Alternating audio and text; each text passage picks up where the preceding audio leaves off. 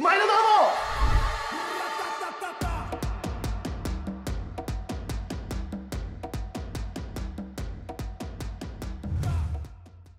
毎度岩本でございます。4月12日金曜日京セラドームで行われましたオリックス対日本ハムの試合お届けしたいと思います。カード頭ですね。先発ピッチャー伊藤博美ファイターズそして、えー、オリックスは、えー、東と。負けなしの東ですよ。去年からずっとも負けなしで来てるピッチャーですよ。その、えー、好投手の投げ合い、えー、そのファイターズ攻撃面のラインナップ、えー、1番郡司2番松郷3番万波4番マルチネス5番タミヤ6番上川端で7番レイエス。で8番が水野9番が磯端と。あの3番4番はもう固定ですわ。で松郷の1番2番もあれも固定やと思う。あの固定と言っていいでしょうね。まあ2番がほとんどか、うん、で1番をちょっと入れ替えたりとか。あの軸の役割がしっかりしてるんで、まあ、そのあたりがファイターズの一番強み。さあゲームはどうなったんでしょうか？結果1対0ファイターズ勝利。ウォーウォーウォーウォー1対0のゲームものにできるチームになってるんです。よ。皆さん分かりますか？去年1点差ゲームを落としている。もうそれが最下位に響いてしまった要因だなんて言う人もいましたよ。でも1点差どころか、1対0のスーパーロースコアをものにできるチームになったんですよ。その内容をお届けしたいと思います。はい。まずは投げる方ですよ。その1対0のロースコアを守りきったピッチャー陣たち、えー、先発ピッチャー伊藤博美、ビリビリのビシビシのビンビンやったね。やっぱあの、しっかりとキャンプとオープン戦で自分のプランを立てた。で、それをちゃんとこなせた。あの、プラン立ててもね、こなせない時ってあるんですよ。体調とか、あと調子でね。でも、それをもう、その前の調子を整える姿などもあり、キャンプ、練習試合、オープン戦で、お、伊藤博美大丈夫か？なんていう言葉、周り出なかったもんね。出るときには、まあこうやってピッチャー出身の解説者が、逆球ちょっと目立つね、あとはこの微調整で終わりかなぐらいの、その先が見える言葉しか出てこなかったのよ。それが開幕してからも、もう何 ?2 勝ですよ。開幕戦ナイスピッチング。で、この、えー、去年の覇者、連覇しているそのチームにもナイスピッチング。で、負けなしの東に投げ負けなかった、投げ勝ったっていうことよ。すごいね。うん。で、そのビリビリの試合を、えー、受け継いだ川野。1イニング投げて2三振の12球。ナイスピッチング。左のセットアッパー。うん。ほんで、火消し役には、もつれたっていう時のワンポイントとかで、スリーアウト目取ってこいとか言った時には、爆発的投球で北浦が様になっている。1イニングしっかりセットアップしてきてくれっていう時には、川野が機能する。すごいね。ピッチャー陣強くなったね。ほんで、なんといっても次、えー、その伊藤博美6回ね。で、川野がその次の7回、1イニング。で、金村翔馬が8回に上がります。19球、ヒット1本こそ打たれたけども、しっかりと0点。金村翔馬の加入によって、川野も成立してるんですよ。で、その後の最終締めくくった、えー、田中正義1回12球1三振と、この河野金村田中正義これなんかまだあの JFK みたいにつくんじゃない？ジャスティス KKJ?KKT? 誰か言い出すんじゃない？まあそれぐらい先発ピッチャーが痺れる投球で6イニングハイクオリティスタート。ほんでセットアップ2つあって、クローザーと。これだけ充実した投手リレーってないんですよ。うん、これね、監督もピッチングコーチもバッテリーコーチも痺れたと思うよ。こんなに完璧なリレーなかったと思うぐらい、1回2回はあっても当たり前のように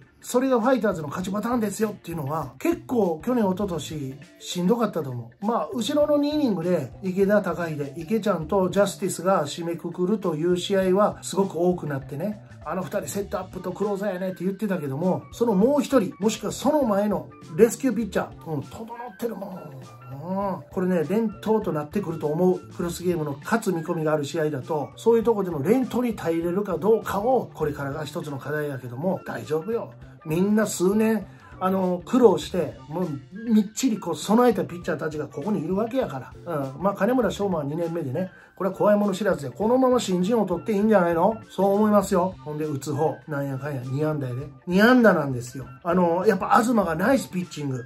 で、後続のピッチャーたち、えー、山田も、比嘉も、しっかり仕事してんのよ。で、東は7回投げて103球。東から1安打。1対0リードしてる中で9回に比嘉からヒット1本打ってるけども東からは1安打よ7回でそのうち6回に点取ったこのシーンを振り返りましょうか、えー、先頭8番に入ってる水野、空振り三振。で、9番に入ってくる五十幡がセンターのヒット。これは緊張走るやんか。で、緊張走ったところで、五十幡、バファローズが一番恐れていた盗塁、紅林、ベースカバー、キャッチ、タッチ、タイミング、これまあまあアウトやったんですよ。まあそれはキャッチしたところ、タッチしたところで余裕でアウトだけども、あれがベースの上やったらバンバンプレーだったと思う。でもその余裕でタッチアウトやけど、これね、五十幡の特徴、足速いだけじゃなく、スライディングも速いねだから彼、キャンプ中とかでもスライディングで怪我しないかなっていう心配したぐらい、そのスライディングでタッチしたところ、顔の辺行ったのをカッと、カッと避けながら入っていったらグラ、グラブを弾き飛ばしたもんね。これはプレーの中でスライディングしてくるタッチ行く衝突なんで、反則も何にもないんですよ。うん。これは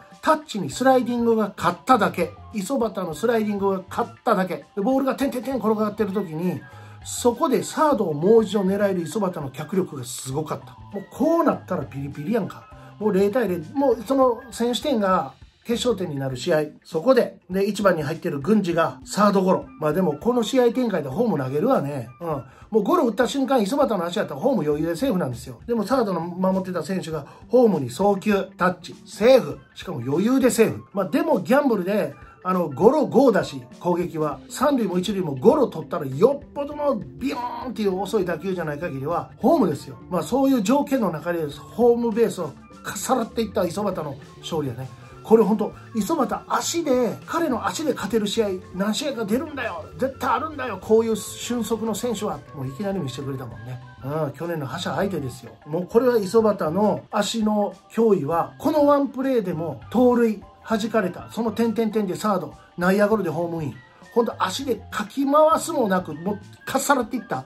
それは先のスコアラたち、各チーム。ほらもう30番の警戒人物になってますわ。うん。あの、先日もあったよね。ダイソーで出てきて、磯端がパッと一塁に立っただけで、バーンと緊張が走る。そうやってね、本当にやっとやってきた一度のチャンスをもぎ取ったファイターズが、この試合、勝ったんですよ。勝利なんですよ。10対0も勝利は勝利。こういう2安打しか出なかった。言うたら点入るまでは1安打。それを生かしたファイターズが勝利した。これも一勝なんですよ。こういうゲームができるようになったファイターズが、やっぱ今シーズンの見込みがめちゃくちゃいい。なので、今日ナイター明け2時からプレーボールのデーゲームですけども、ファイターズの面々はそんなに疲れ残ってないよ。あの気持ちよく、俺たちあんな試合できるようになったんだよね。まあこれはね、トライアウトと歌って、一昨年の1年間があった、去年も実際トライアウト的に新庄監督もやっぱチームの見極め入ってたと思う。今シーズン。なんか戦い方選手の微妙な変化はあるけども、3番、4番、固定とか、ほんで、役割が数人に分けられる